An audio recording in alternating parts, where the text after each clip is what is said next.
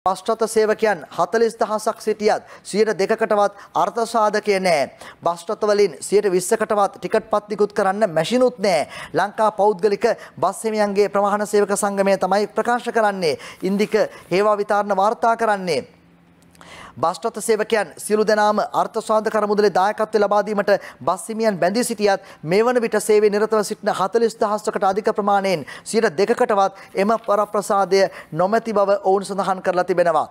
අම්මගේ හම හරිම සිනිදුයි ලයිෆ් බොයි නිසානේ. හැමෝටම ලයිෆ් බෝයි